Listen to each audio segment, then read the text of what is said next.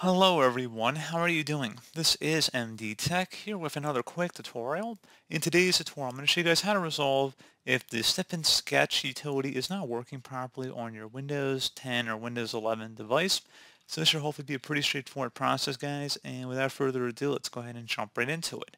So we're going to start off by opening up the Start menu, type in Notifications, Best Match, come back with Notifications and Actions settings, go ahead and open that up you want to go where it says get notifications from apps and other senders. You want to make sure that's turned on. And then you also want to go ahead and scroll down this list here. And if you see Snip and Sketch, you want to make sure that's turned on as well. I don't see it in my case. If you're on Windows 10, you probably would see it down here. So I don't see it in this list, but again, on Windows 10, it probably will be in there. And something else you want to do as well is go underneath Focus Assist here and make sure that is turned on. So if it's turned off here, just set it either priorities only or alarms only. So you might want to just turn that on here. So definitely something else I would consider doing. So go ahead and set that. Uh, something else we should do here too, if we close out of here and open up the search menu, type in apps and features. Go ahead and open up apps and features here. And you want to go down this list and or just go ahead and search the apps list field here and type in snip. And if you see snip and sketch, like the snipping tool, it's going to be a similar process here. You just would select the three-dotted icon next to it, and then you would select advanced options. And you would scroll down and select the repair option. You can also try the reset option as well. Again, you would try that instead of for the snipping tool, obviously it'd be for the snip and sketch. And if you're still having a problem after you've tried doing both of those and you're still unable to open up the utility, something else we can try here would be to open up the search menu, type in CMD, Best match should come back with command prompt. Go ahead and right click on that and select run as administrator. If you receive a user account control prompt, go ahead and select yes. And now into this elevated command line window, go ahead and type in SFC followed by a space forward slash scan now. Scan now should all be one word attached to that forward slash out front. Go ahead and hit enter on the keyboard to begin the system file checker utility scan. This will take a couple minutes to run, so please be patient.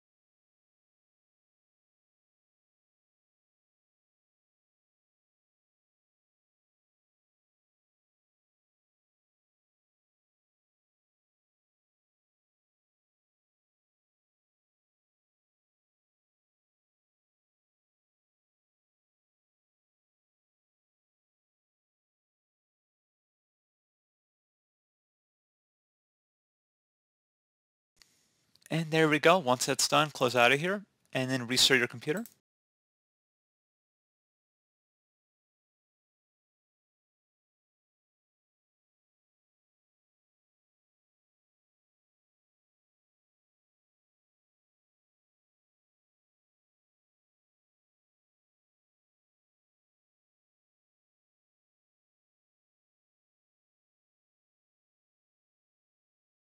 And there we go, guys. Hopefully I was able to restore your Snip and Sketch utility to a functional state. And as always, thank you for watching this brief tutorial. Do hope I was able to help you out, and I do look forward to catching you all in the next tutorial. Goodbye.